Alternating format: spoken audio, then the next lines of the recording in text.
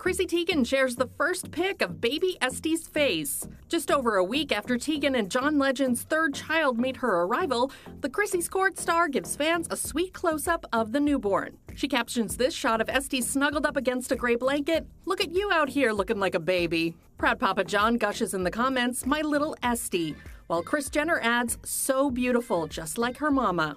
Actress Kaley Cuoco, soon to be a mom herself, chimes in with, OMG, what a beaut! Esti was born on January 13th, joining six year old sister Luna and four year old brother Miles.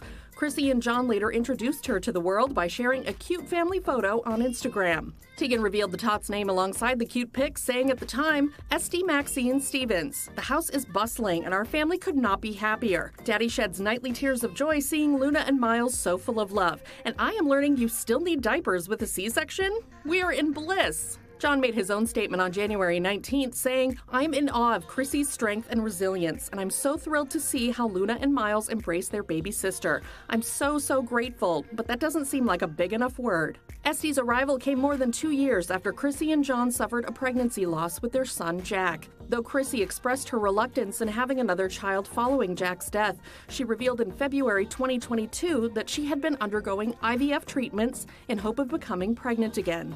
In August, she revealed she was expecting, sharing at the time, the last few years have been a blur of emotions to say the least, but joy has filled our home and hearts again. I don't think I'll ever walk out of an appointment with more excitement than nerves, but so far, everything is perfect and beautiful, and I'm feeling hopeful and amazing.